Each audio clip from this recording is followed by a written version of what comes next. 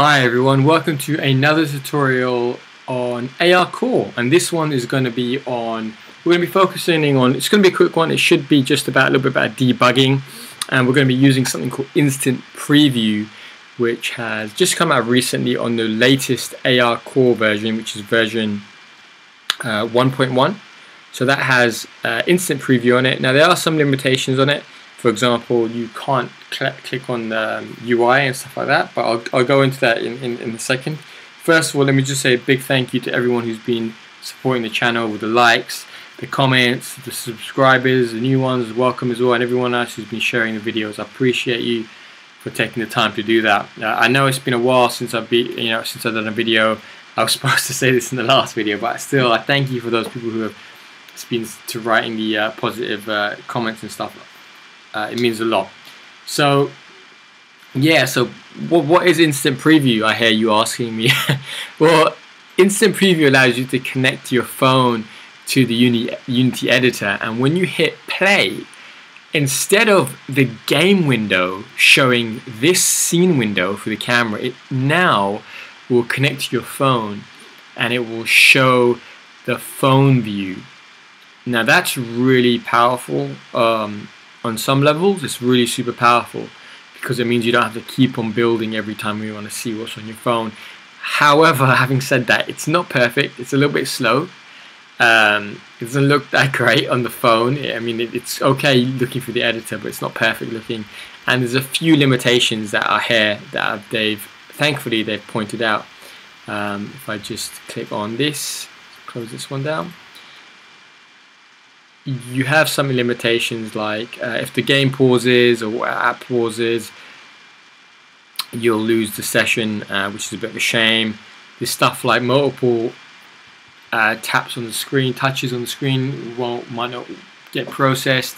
So think about stuff like uh, pinch zoom maybe might not work which is usually quite good for AR core. Um, and then you've got stuff like Unity this isn't that big the Unity editor uh, so, okay, I guess in some ways it's, it's, it's really important to know when you're tapping on your phone screen, that will work. So I'll show you what I mean. I'll press play here just to get you into what I'm doing here. If I press play, it should now connect to my phone. I believe it's also installed the Instant Preview app on my phone if you don't have it. Um, so now you can see here, usually I have to use a separate window, but now I don't have to do that. Um, so when I move my phone screen, it moves this screen, which is great, and I can tap on the screen. On my, I'm not tapping on the Unity editor screen. If I tap there with my mouse, nothing happens. I still have to use a mouse click, right? But now here's the thing: the mouse. So my, gotta be careful how I say this. The touch screen import that I use using my fingers on my phone works to place the uh, Andy prefab. So that works great. Now, if I had some U UI here, some UI buttons where I'm moving my mouse, and I try to tap on them with my, my on my phone using my thumb, like I am now with my the, the Andy prefab, they would not work on the mobile screen. Nothing would happen they only work an icon a UI icon would only work if I use the mouse. Um, now that's important to know. So you can't just use your phone and you can't just use a Unity editor. You're basically using both now. So here's a bit of a limitation. It's something to be aware of right? Now as you can see in the console I've got some debug statements that I've just done. Super easy debug statement. I've just had an update method. It's just printing out a number time and, and adding one to every every frame. But I just wanted to show you that debugging works in, in, in using instant preview and I believe that that's a instant preview is a pretty good way to debug um, your your your code and a really quick way of doing it.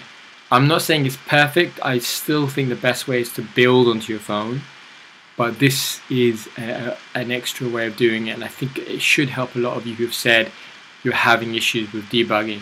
Um, so I hope that helps you. Um, also there is an instant preview page that you take a look at which is how you get your phone ready. You need a Daydream ready phone, which is probably what you have since you're using AR Core. Um, you need the Instant Preview app on your phone. So I have it on my phone from when I was doing Daydream development. Um, if you don't have it, I believe it automatically installs it on there um, because it's yeah it's in the right okay so there's a prefab called the GVR Instant Preview main which automatically installs it now none of you I believe will be using that if you're only using AR core because um, you don't you, are not using you're not doing VR development right you're just we're just using AR core here at the moment which is fine so what I recommend you do is oh, also sorry there's a this error comes up here just ignore this. I think this is just to do instant preview, um, so I wouldn't worry too much about that.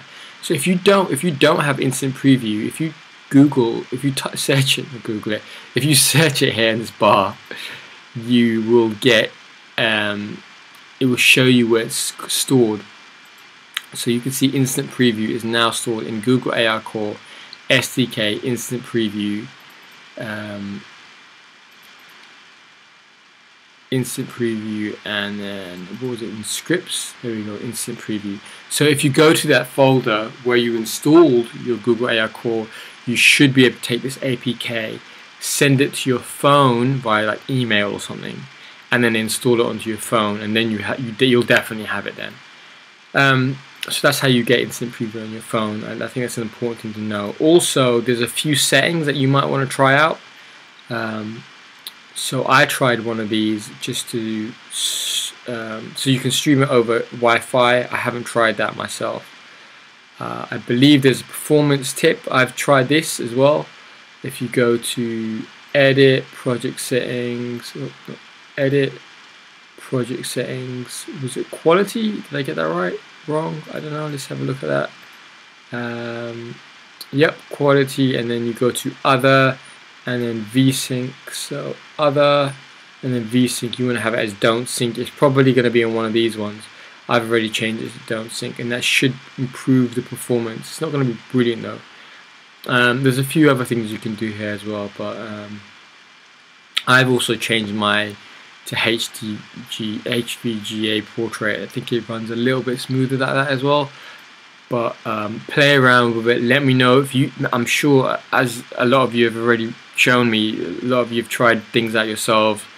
I'm, I love seeing that. So if you if you if you have any advice if you try it instant preview out and you notice something that I've missed leave a comment. I'll um, I'll definitely reply and point it out to other people as well um, so look I hope this helped you uh, instant preview instant preview I think everyone should be trying out at least and I think it should help out those who are having issues with debugging as well.